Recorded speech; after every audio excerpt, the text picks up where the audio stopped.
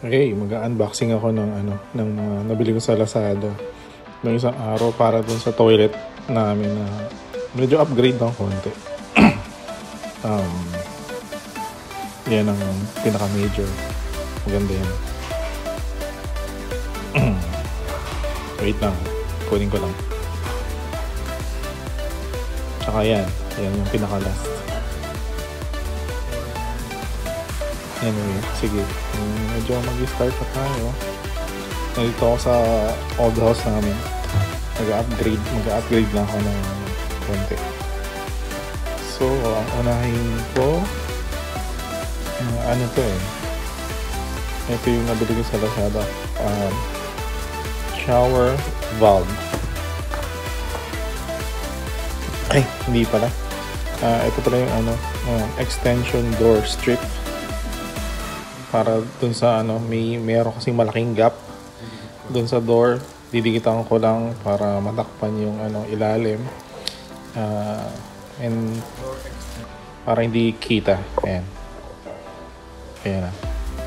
So madali lang kinat ko lang into into size. Tapos um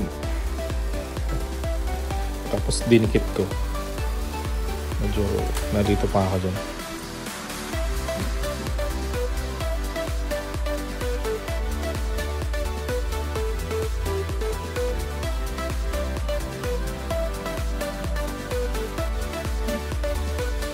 kapag uh, magdidikit kayo, make sure na meron kayong metro o pansukat uh, sa exact size nung sa door and pagkat nyo. Kasi pagka nakat na, syempre, lalo na kung maliit, eh, pangit na tingin. And, i-try nyo na wag idikit agad katulad ng ginawa ko kasi uh, nag-adjust adjust pa ako doon sa ano dahil nga sumasayad doon sa rad nung uh, sinara ko So, nagkamali ako. Pero yan, binipit ko. Pero tinanggal ko rin yan eh. May extra konti doon sa ano, kinat ko ng ano yan, ng cutter na lang. Para ano, yung yung material nga pala is parang silicone, soft silicone. Um, madali siyang ilagay lang. Nakalagay doon 3M adhesive pero sa tingin ko hindi yung 3M eh. So yan, kinat ko lang. Hindi naman talaga maganda yung banyo namin, pero ah, well, uh, it is an upgrade. So, yan. Yung strip. Ngayon, susunod, uh, itong, yan yung ano, um, shower valve. Kasi, sa sobrang tagal na nung uh, ano namin, shower namin, yung handle nasira na. Kaya, yan. Uh, I hope it is perfect. Kaso, yan, pinilit-pilit ko. Hindi ko alam kung paano. So, ang kailangan ko lang talaga yung handle. Papalitan ko kasi meron na doon, ano eh. So, yung pala, doon sa cover, yan, inikot ko. Nahirapan ako na.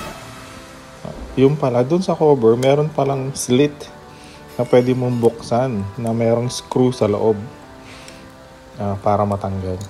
So, na-realize ko na, nako, iniikot ko, baka masira. Ayan, nako. Ay, nako. Nako, hinilaw-hilaw ko talaga. Talagang, talagang pinipilit ko. So, yun, yan. Na-realize ko meron para dun. So, it is all um, chrome plated na plastic.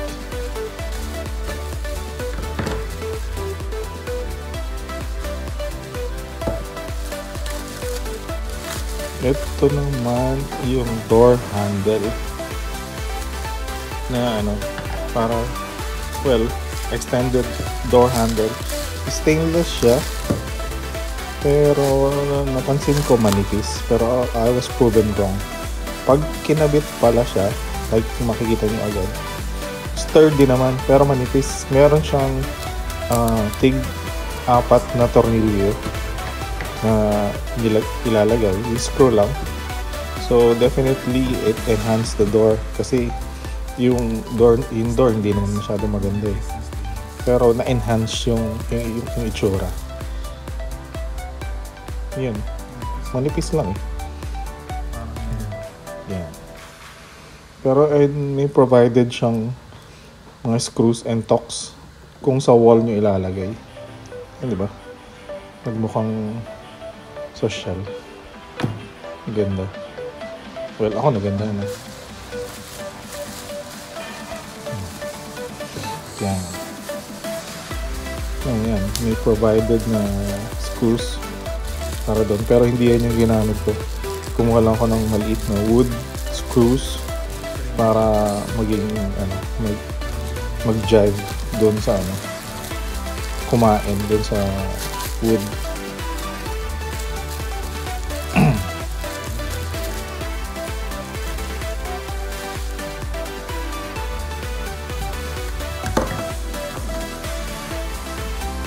At yung susunod, dito na-amaze ako kasi naghahanap ako ng, ng small fan para sa para sa sa toilet na ikakabit pa o your i-screw pa. Pero ito, talagang hindi mo alam yung ingenuity ng ano eh ng mga incheck eh. Galing mga okay. Pero sabi nga nila, well, na-enhance nila. They, sila yung okay. Mas okay. So ito yung lamp na mayroong merong fan. So, titingnan ko pa kung paano buksan. excited kasi ako eh. So, dito ako mas excited sa product na ito. Parang bili ko rito 650. So, yan. Um, E27 ba yung tawag dyan? Na ano, kakabit. May LED bulb na 24 watts na ano yung lumens. Tapos, yan So, madali lang naman ikabit. So, i-screw mo lang dun sa dati. Kung meron na kayong kabitan ng ilaw. So, yan. Yan yung ilaw namin dati. So, tatanggalin ko lang.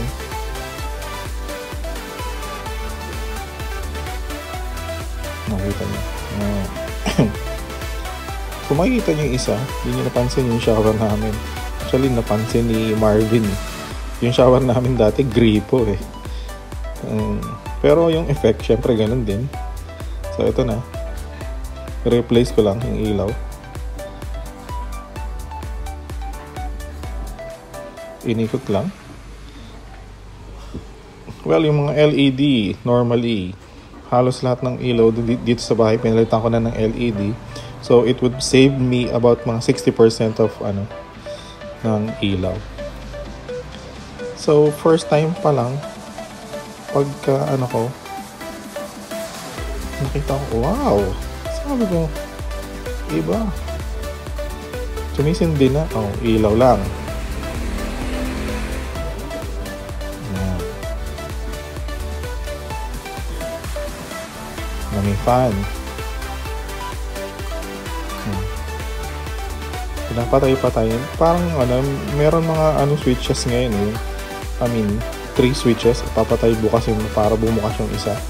So, yan, parang ganun lang. So, pipin pag pindot mo una, ilaw lang, tapos fan lang, tapos fan and and ilaw na rin at the same time.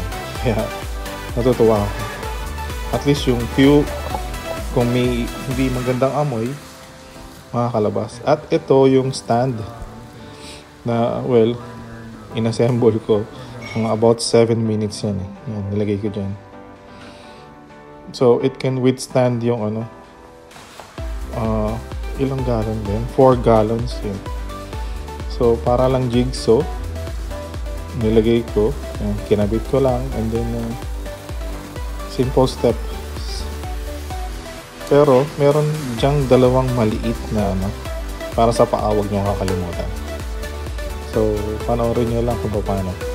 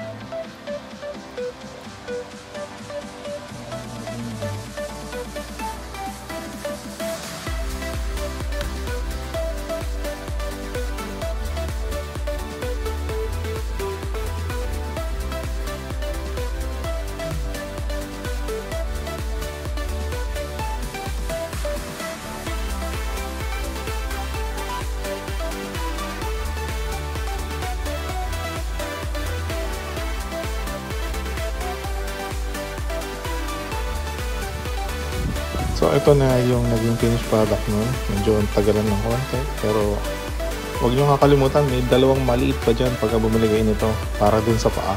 Para sturdy yung pagtayo niya. Ito, product na to, binili ko, pang corner din. Actually, gina, nilalagay sa ceiling. Medyo tricky yung pagkakabit. Natagalan ako kasi minsan may mga mali-mali pa akong kabit eh. Pinas forward ko, um, tinime lapse ko para mas mabilis yung makita. Pero actually, ang sasabihin ko lang dito, kapag ka bumili kayo nito, meron niyang ah, parang ini-screw doon sa loob na na baka ma-misled kayo na yung para bang dumudulas pagka nakakabit sa ceiling. Pero hindi. Ah, maganda yung product na to. Okay din. Tapos, ah, wag lang kayo magkakamali. Pero, pag ah, nakadikit na sa ceiling, pwede ikutin, i-fix. Tapos may spring yan sa dulo para magkaroon ng tension dun sa, sa ceiling at saka dun sa floor para maitulak ng spring sa floor at maging mindset. So, strong product siya. So, anyway, hanggang dito lang muna. Ayan, nakapusan.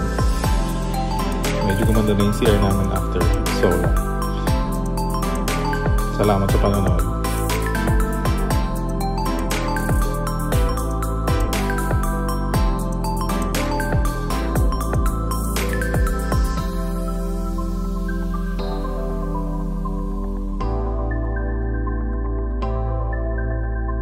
excited, mas excited pa yung nanay sa may birthday ah. ha. Ano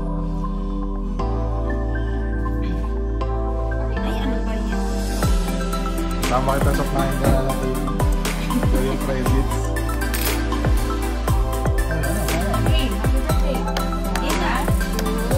Ay, teka, teka, teka, teka. Yung dalawa, nasa na? Uy, dito na kayo.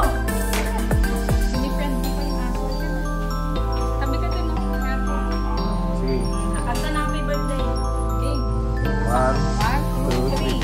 Happy birthday to you. Happy birthday to you. Happy birthday, happy birthday, happy birthday to you. Happy birthday to you. Happy birthday to you. Cash na lang. Happy birthday. Happy birthday. To you. Yeah. Oh, blow, blow. Ah, yeah. Ano wish mo? Wish mo? Agad. May mag-wish muna bago inipan. Okay na yun daw. Nasa kanya na daw yun.